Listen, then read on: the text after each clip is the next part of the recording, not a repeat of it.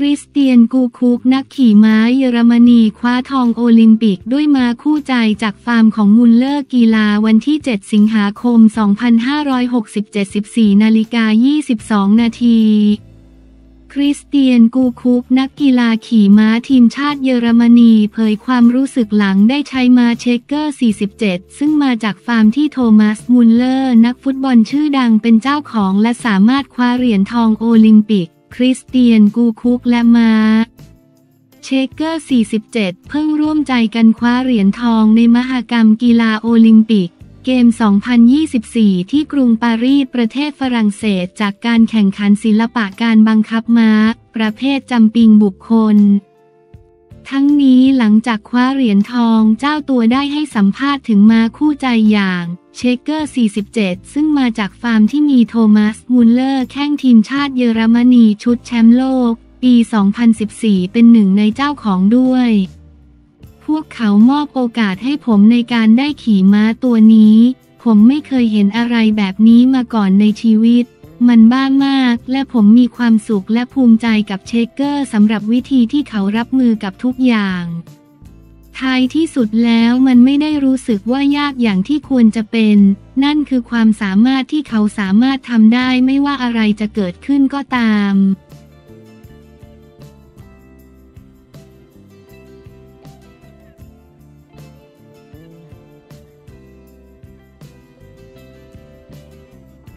ด่วนสารรัฐธรรมนูญสั่งตัดสิทธิ์ 10 ปี ทิทาชัยทวัฒน์กกบหก้าวไกล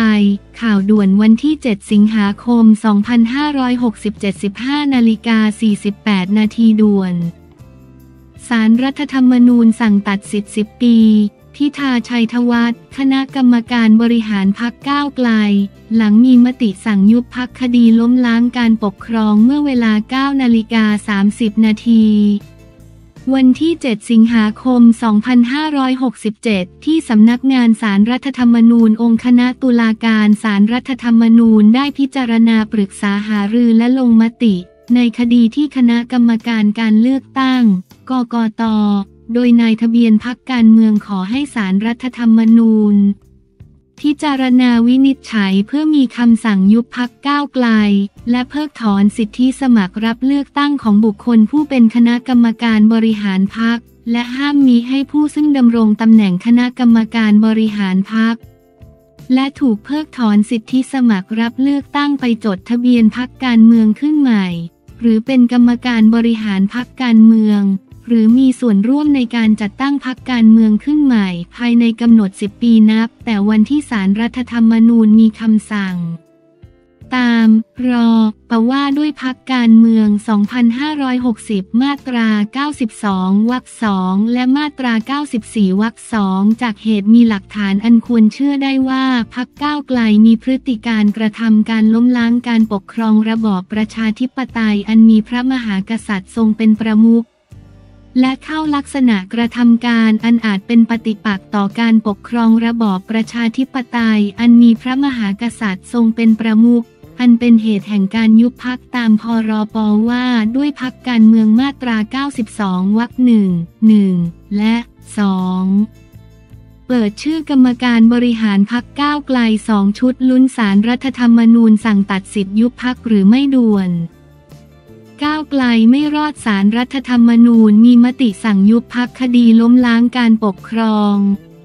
ข้อเท็จจริงปรากฏตามคำวินิจฉัยสารรัฐธรรมนูญที่เศษ 3 ส่วน 2567 ที่ระบุว่าเสนอร่างพรบแก้ไขเพิ่มเติมประมวลกฎหมายอาญา ฉบับที่ พศ พื่อยกเลิกประมวลกฎหมายอาญามาตรา 112 ซึ่งสสพักก้าวไกล 44 คนเข้าชื่อยื่นต่อประธานสภาผู้แทนราษฎรเมื่อวันที่ 25 มีนาคม 2564 และใช้เป็นนโยบายหาเสียงเลือกตั้งปี 2566เป็นการใช้สิทธิเสรีภาพเพื่อล้มล้างการปกครองระบอบประชาธิปไตย อันมีพระมหากษัตริย์ทรงเป็นประมุขตามรัฐธรรมนูญ มาตรา 49 วรรคหนึ่งและสารรัฐธรรมนูญมีคำสั่งให้หยุดการกระทำนั้น คดีนี้ประเด็นที่ศาลจะวินิจฉัย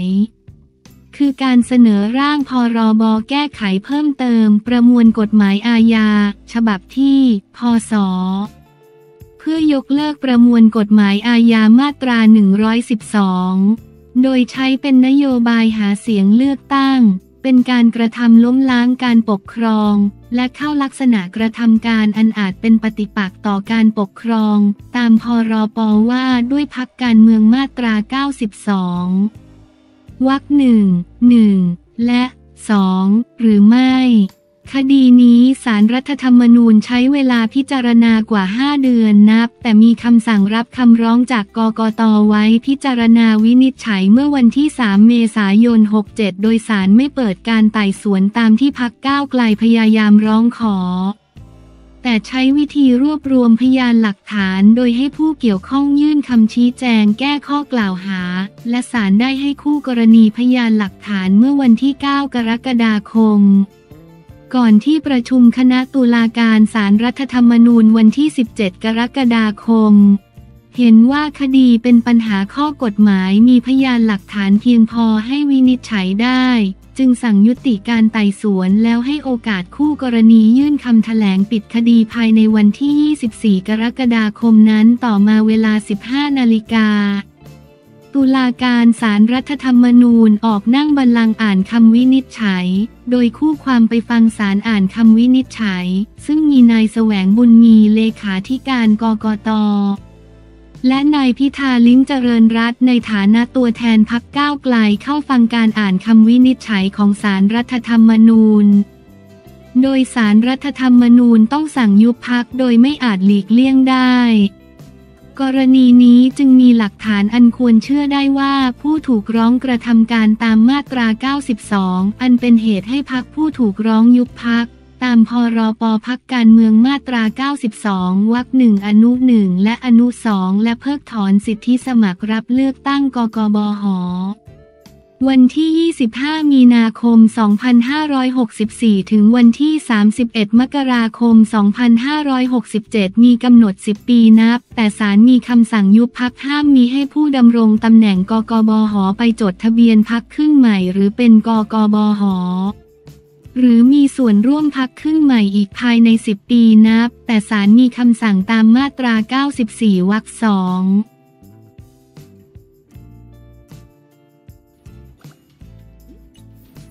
ม่อีทดวงใจเปิดใจวัย 73 แก่อย่างมีความสุขไม่เรียกร้อง เลี้ยงลูกให้เจ็บเองไม่ห้ามบันเทิงวันที่ 7 สิงหาคม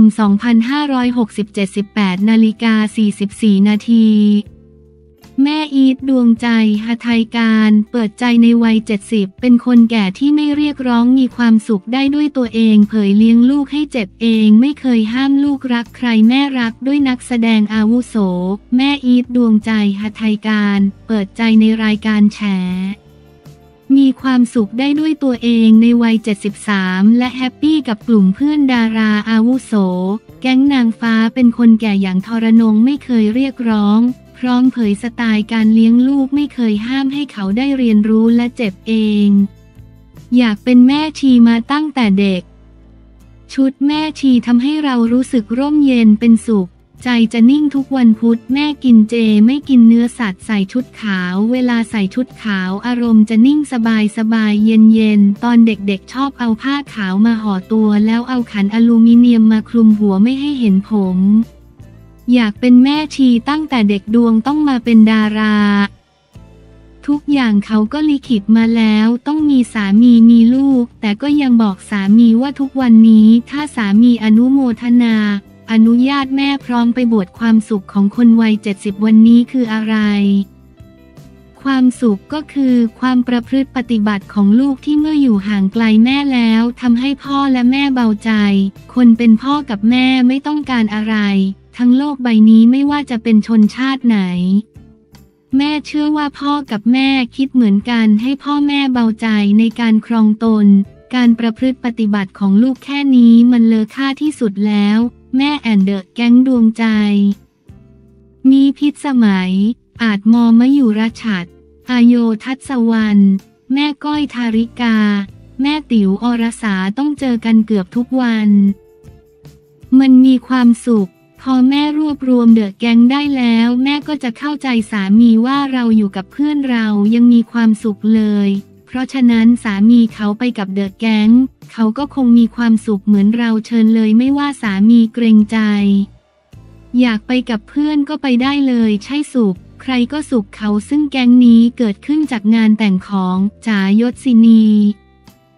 แกงแม่แม่เนี่ยอยู่มาวันหนึ่งที่จิ๋งโทรมาบอกว่า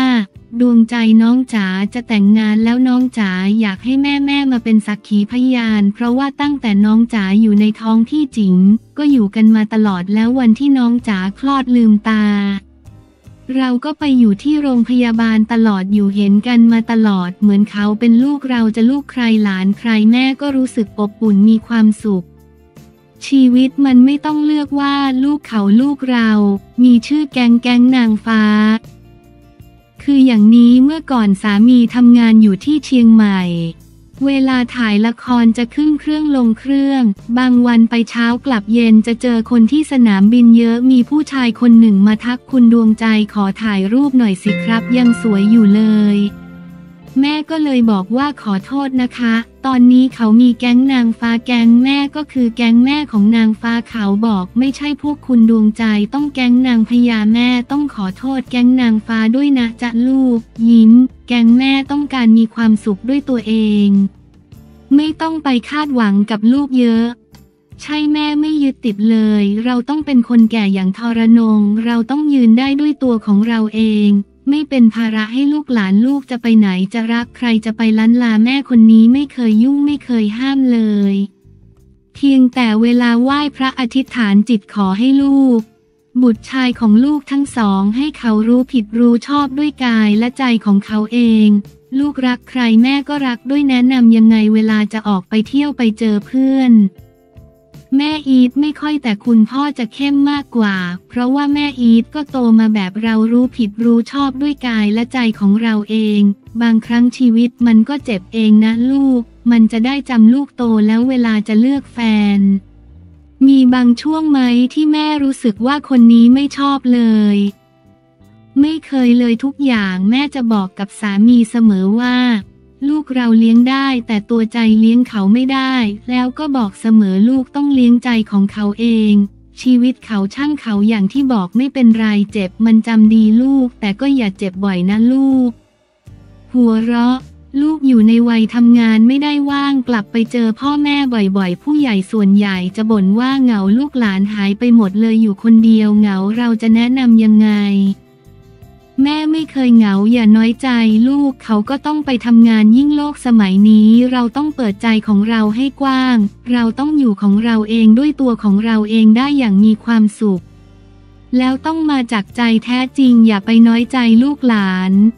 เราพร้อมเสมอที่จะโอบรับ เขาเราต้องเป็นคนแก่ที่ไม่เรียกร้อง แม่ไม่เคยเรียกร้องเลยสามีและลูกจะไปไหนก็เชิญสองทุ่มแม่ก็หลับ แล้วตื่นตีสี่แม่ก็เป็นแบบนี้มาตลอดตั้งแต่ 15ถึง16 นอนสองทุ่ม ไม่เคยเที่ยวกลางคืน มันไม่ใช่ตัวเราอายุเป็นเพียงตัวเลข 73 แล้วแม่ก็ยังเล่นละครอยู่ เคยคิดเหมือนกันว่าตอนแรกจะเลิกเล่นตอนอายุ 60 แต่พอ 70 เราก็เลิกไม่ได้ ไม่มีคำว่าอยากเกษียณ ใช่พอ 70 กว่ามันก็ยังมีคนจ้างอยู่ทุกวันนี้เล่นเป็นย่าเป็นยายก็มีไม่กี่คน หัวเราะ แม่มีความสุขในการทำงานเวลามาทำงานเหมือนมาชาร์จแบตมีพลังคืออยู่บ้านก็มีความสุขอย่างหนึ่ง เพราะแม่เป็นผู้หญิงชอบอยู่บ้าน ปัดกวาดเช็ดถูล้างห้องน้ำทำงานบ้านเองทุกอย่างเลย ขอบคุณที่มารายการแฉ